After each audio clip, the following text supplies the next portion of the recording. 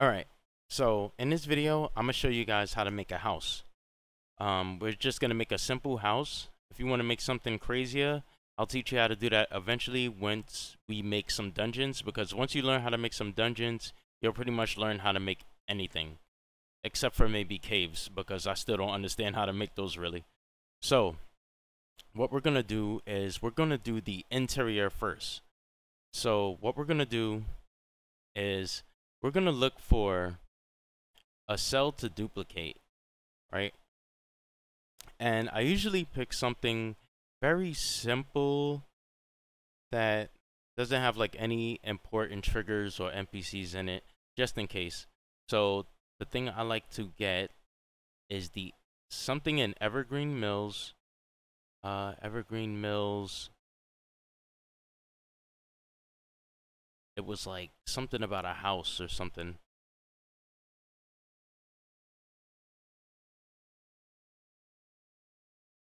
Evergreen Mills side boss house. So I'll right click on this, right? I'm going to hit duplicate cell.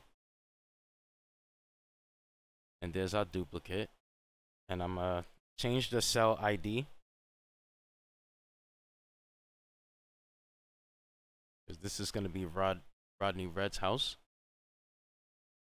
And then after I click on this, I'm going to click the top part right here. I'm going to scroll all the way down. Then I'm going to hold shift and I'm going to click the bottom one. So everything is selected. Then I'm going to right click in here and I'm going to hit delete. So everything is deleted except the nav mesh. So we're going to delete that in a moment. And now what we're going to do is we're going to double click on this. Ignore. So now that we're inside of the cell.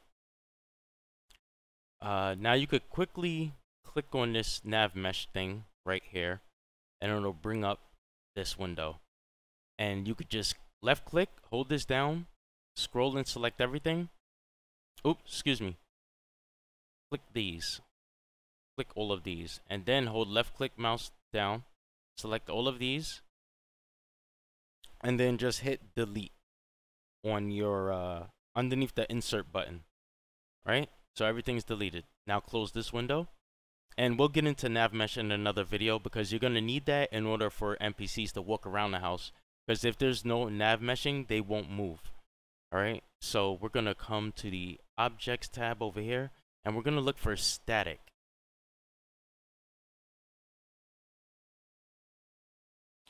Uh, static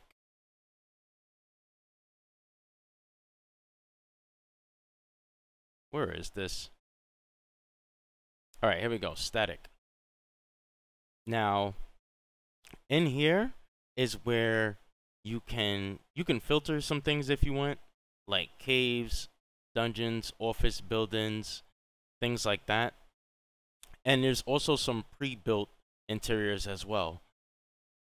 So I'm going to use one of those. I'm going to use a uh, Shack. And then you could preview how they look as well. So you could right click on the object. This menu will pop up and you hit preview. And then now you can see how it looks. And you could leave this window open. And then you could scroll through all the different things. And you can see all the different objects you could place around your house and stuff like that. But yeah, we're just going to use the end. we're going to use this for the exterior and then we're going to use this for the interior. Actually, there's a better one than this.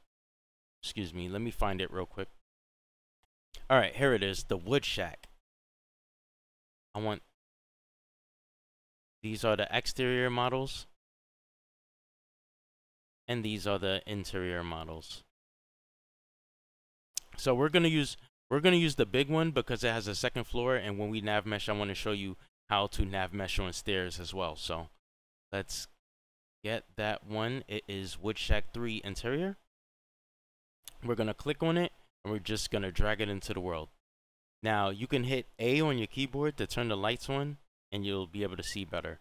Now the first thing that I always do when I'm making an interior is I drag my first piece in and when, once I do, I double click on this and I come to all of these parameters right here, the X, Y, and Z, and I turn them all to zero.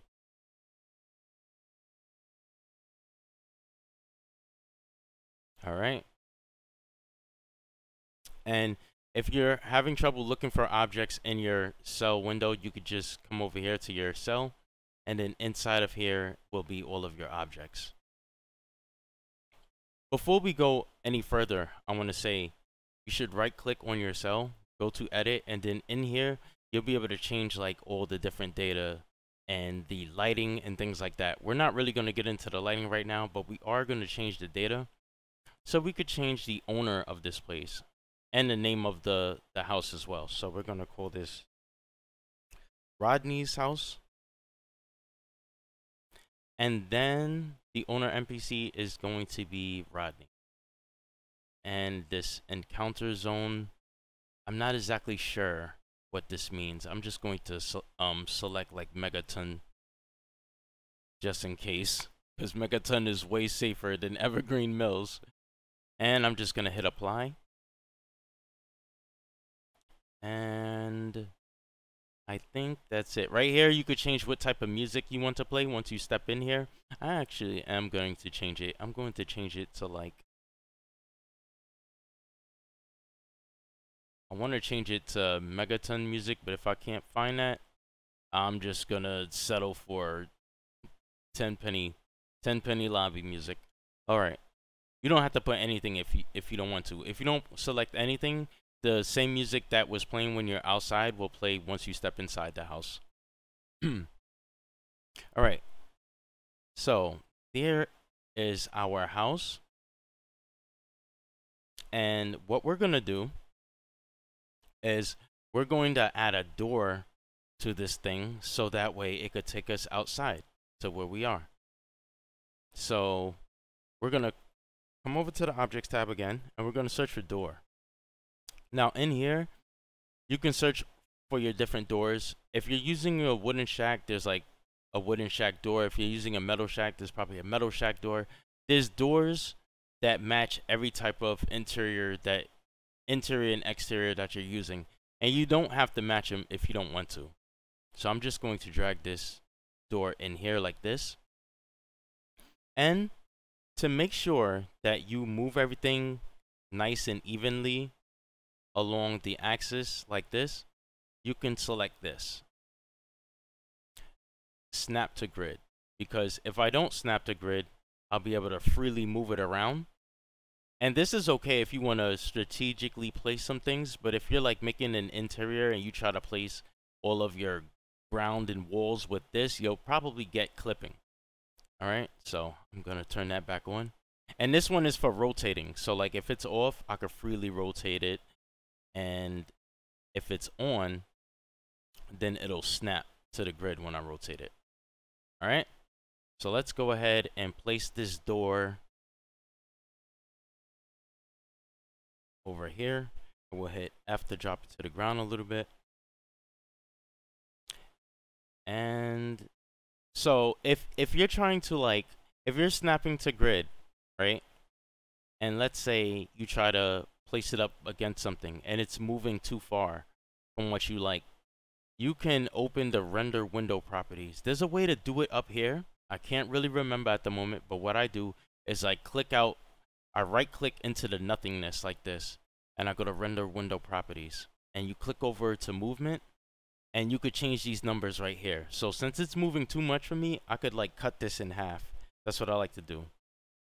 So I'll change that to 16 from 32 and now when I move it it'll move a bit better as you can see and then you could go down to like 8 if it's still not doing enough for you and things like that so that's good enough and what I'm gonna do is I'm gonna double click on the door and I'm gonna have this window pop up now I'm gonna put this over here for now we'll worry about that later now what you want to do is you want to go outside to where you want to place your shack so I'm going to go ahead and do that really quickly. All right, so we're back outside. There's my NPC, and I'm gonna place the house like right here a bit. It's probably gonna be hanging off and having a gap, but this is just for a, a tutorial. So I'm going to go back to my static, which I should have did before starting the recording again. All right. So in my static tab, I'm going to go to, what was it? It was Wood Shack, I believe. Okay, Wood Shack. And then remember, you can use the preview if you're not exactly sure how it looks. So it was this one, the big one. I'm going to left click and drag it, hold it down. And there it is, it's in the world. Now you can just adjust it to how you want it. I'm gonna hold Z, Z to move it up and down. And then I'll right click to rotate it. And then I'll move it in a bit this way. And when you're in the world space, it could get a little wonky when you're moving around. Okay, so I just moved everything further down the road. There's the diner over there. I just moved the house down the road. All right. So once you're back outside, you want to grab another door. I'm going to grab this wooden shack door. We're going to drag it into the world.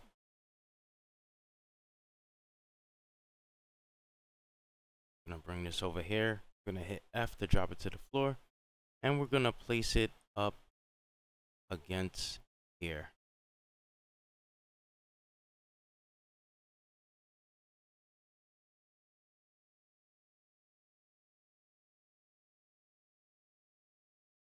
All right. That's good enough.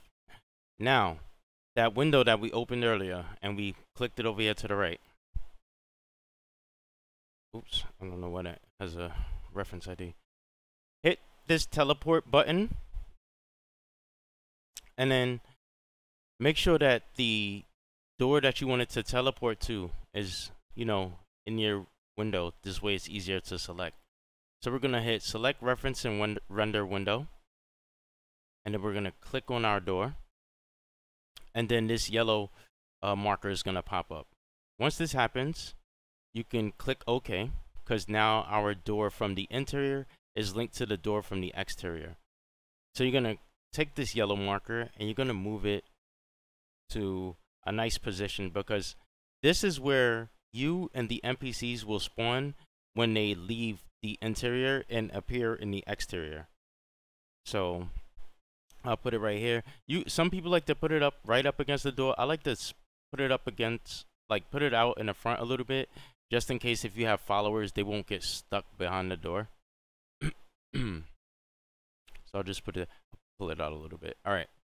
And then once you have it positioned right, you need to position the interior one. So you can double click on this yellow icon and it says the does it want to take you to the linked reference and then you yes and then now here's the link door.